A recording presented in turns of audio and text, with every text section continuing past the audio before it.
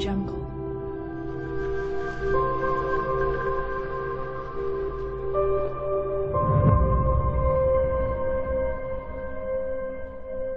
Audio Jungle.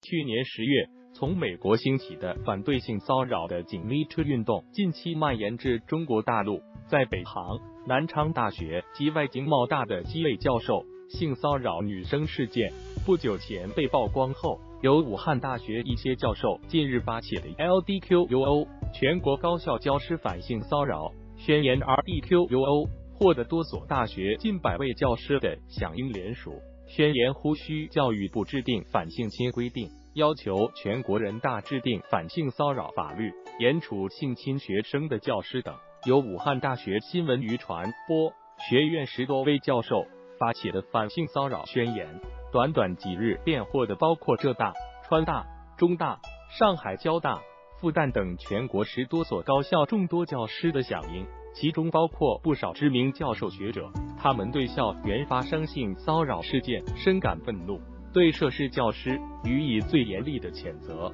宣言呼吁教育部及全国学校制定反性骚扰政策及规定，全国人大制定反性骚扰法律，严惩性骚扰，特别是对学生的性侵。宣言还要求各高校及中小学每年在学生及教师中进行反性骚扰宣讲。要求所有学校领导在收到性骚扰举报后需上报并认真调查，一经查实对性骚扰者，需开除、取消教师资格，通报教育部及权威媒体。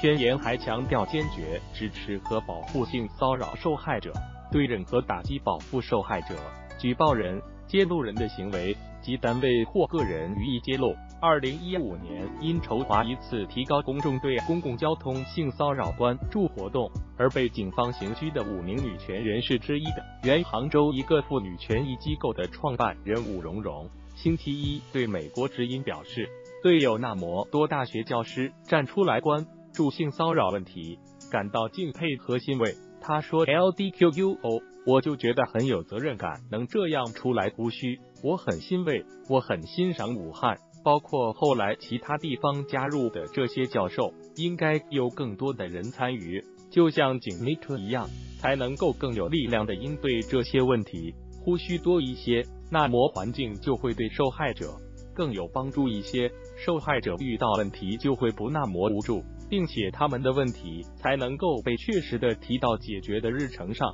Article 去年突破阻力成功赴港大研读法律的武荣荣表示。他希望基层部门领导层在遇到性骚扰问题时，首先不隐瞒、不掩盖，要积极作为、严肃处理，然后从国家的层面也要制定积极的反性骚扰法律。他说，LDQUO 不管在比如说当时我们是在公共交通，还是在学校，还是在其他公共场合、公共环境里面，有关的部门应该有这样反性骚扰。意识最近曝光的好多都是在学校发生的，那么学校的领导层就应当从事这样的事情，建立相应的防止性骚扰的机制，这是最直接也是最基本的。第二，教育部要做一些相应的，我觉得这是应该的。Article 全球反性骚扰的紧密 to 运动令许多。曾遭受性骚扰的女性打破沉默，其中目前正在美国西谷工作的华裔女学者、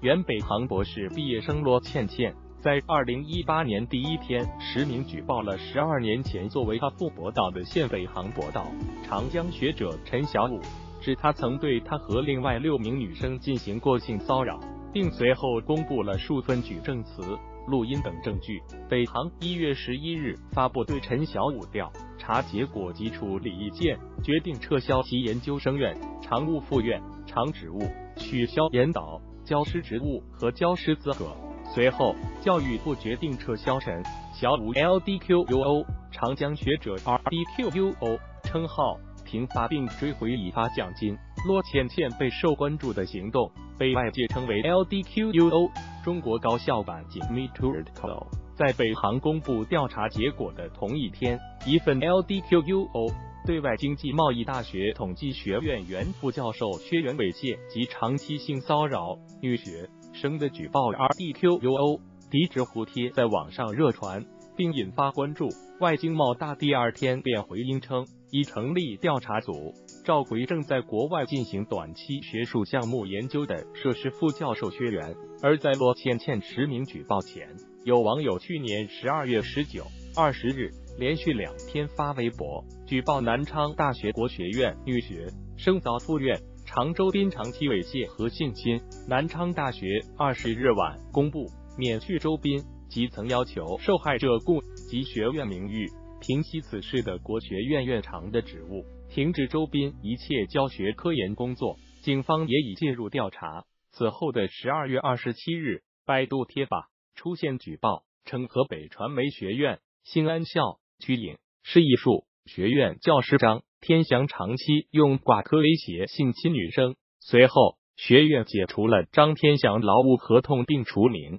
据中国媒体今年一月报道，二零一五年被警方刑拘的另一位反公车性骚扰的女权人士，现任北京季安德咨询中心项目主管梅婷婷，向记者提供一份中国大学在校和毕业生遭遇性骚扰状况调查近六千六百份样本和上百份口述的调查结果显示，有近百分之七十的受访者遭受过不同形式的性骚扰。其中女性占到百分之七十五，性骚扰事件中有近一成是学生的上级，包括领导、老师、辅导员等。此外，超过一半的性骚扰发生在校外公共场所，超过四成则发生在校内公共场所。